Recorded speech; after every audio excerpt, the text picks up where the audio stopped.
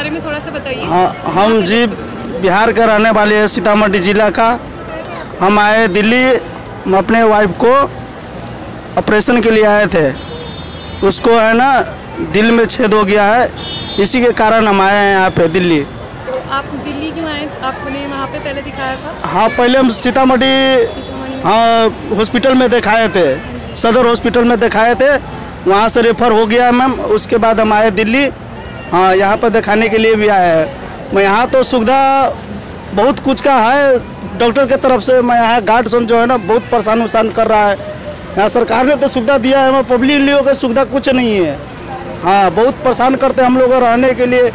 खाने पीने के लिए चलो बाहर हम लोग को मिल जाता है मगर बैठने के लिए भी हम लोग को कोई सुविधा नहीं है। सब हाँ मिनटे मोड़े हम लोग तो तीन जने से आए हैं, सब मिनटे मोड़े हम लोग को इधर से इधर भगाता है, इधर से इधर भगाता है। हम लोग जाए से जाए कहाँ?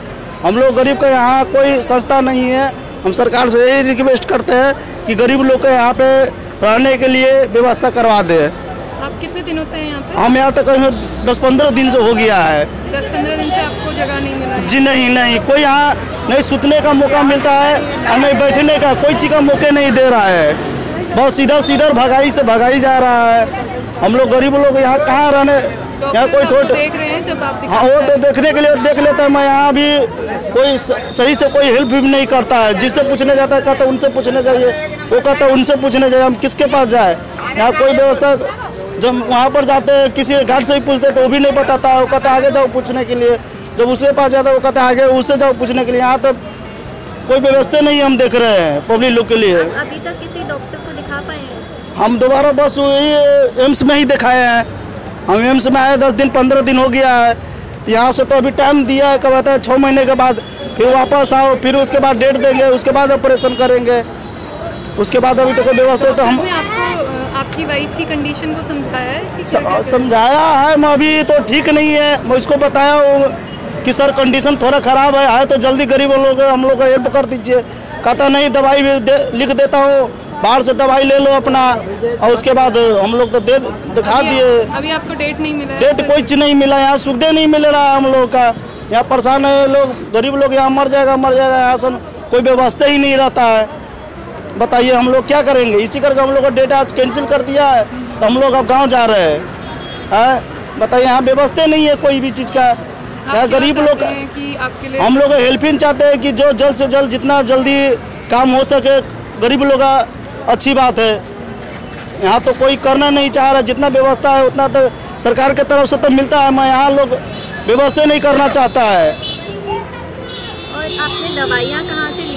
हम लोग सर बाहर से दवाई लिए हैं अंदर से जो नहीं मिलता है जल्दी। जल्दी नहीं मिलता? मिलता ही नहीं है। हम लोग बाहर से डॉक्टर बोलता है कि बाहर से दवाई ले आओ। मिलती हम लोग लिख देते हैं तो हम लोग बाहर से दवाई लाते हैं।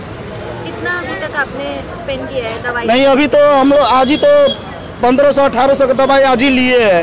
हैं? और आपको दवाई बताया उन्होंने कि कैसे लेना है क्या लेना हाँ तो वो नीचे वाला जो बाहर से दवाई लिया वो बताया सब लिख कर दिया है कैसे? डॉक्टर ने बताया आपको? नहीं डॉक्टर तो नहीं बताया बस बोला है कि अब वहाँ जहाँ दवाई लोगे ना वही आपको बता देगा ऐसे ऐसे खाना है। तो- वो वहाँ पर डॉक्टर के पास जाने ही नहीं देता है दोबारा। जो एक बार चला जाता है दोबारा जाने का मौका नहीं मिलता है। अब सवेरे पाँच बजे से नंबर में लगो तो पता लगे बारह एक बजे तक नंबर में ही लगे रहो। पता नहीं वो भी नंबर मिलता है कि नहीं मिलता है वही भरोसा ही नहीं है। हम्म? यहाँ तो गरीब लोग इतना परेशान होते हैं। देख ले जितना पब्लिक लोग है यहाँ सभी को सब भगा ही देता है। यहाँ किसको रहने देता है? किसी को नहीं रहने देता है। आपको सरकार की कुछ स्कीम्स के बारे में पता है? जैसे आयुष्मान भारत। हाँ वो सब तो है। मगर हम सब कार्ड उड़ दिखाए हम सर डॉक्टर हम लोग को कोई व्यवस्था ही नहीं दे मान ही नहीं रहे यहाँ तो बड़े बड़े आदमी सन आता है उसका तुरंत काम हो जाता है जो गरीब आदमी सन को उसका पावर पहुँच नहीं है वो बस उसका छः महीने दो दिन का काम उसका छः महीने लगा देता है हैं? आपको स्कीम के बारे में किसी ने बताया कि ऐसा है आप इस्तेमाल कर सकते हैं? हाँ वो बताया है मतलब और कुछ नहीं बताया हमको। किसने बताया आपको? डॉक्टर ने हम भी पूछे तो जल्दी बताता ही नहीं किसी से कुछ बता बताता ही नहीं है। यहाँ कुछ व्यवस्था नहीं हम लोग तो अनपढ़ आदमी है हम लोगों से जब पूछेगा तो हम लोग समझाएँगे तभी समझेंगे। आप बताते ही नहीं तो क्या समझेंगे हम लोग? कुछ नहीं समझेंगे। हाँ, यहाँ तो व्यवस्था कुछ नहीं देखते हैं डॉक्टर तरह से।